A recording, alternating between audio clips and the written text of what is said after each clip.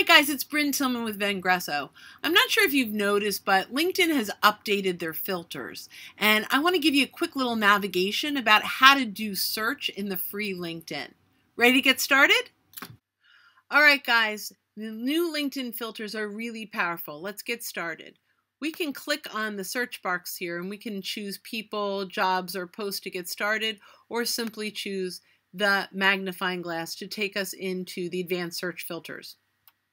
I will typically be in the people search as I'm going through this, and I can choose location, connections, current companies, and my favorite are the all filters. There's a lot of great stuff in here.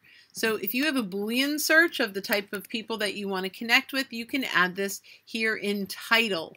You can also say, you know, I'm not interested in finding my first degrees right now, although that's a great search to do. I want to see my second degrees. And if I want to go location, I can choose my area here and even build down further if I want to go direct to industries, uh, etc. So I now hit search and I get a great list of 4,880 people that I might want to meet that are second degree connections that meet my search criteria. I can see who my shared connections are and ask for introductions. Um, I can connect in a relevant way with insights, but ultimately, this is a great way to build a list. Now, if you're on the free, you might get very pretty soon, maybe after 50 or 100 of these, we don't exactly know the number, a little like kind of stop action for the rest of the month that says you're using this for commercial use, uh, you're the search. And if you want to continue this month, you've got to pay. It will refresh next month.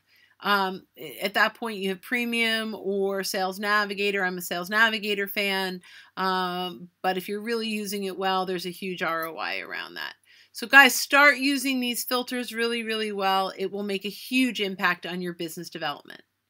So I hope you love that search as much as I do. It's really one of the most powerful ways to grow your business. And I'm really excited for you to give it a shot. I also want to hear from you. What are some of the things that you're doing really well to grow your business? What are some of the questions that you have, or some of the things that you want to try that you haven't? Put them in comments below. I'd love to really engage with you and get some ideas. And if there are some really great strategies that you can share with uh, my network and your network, really, I believe that the high tide rises all boats. So let's continue to add value, and I look forward to offering more tips like this in the weeks to come.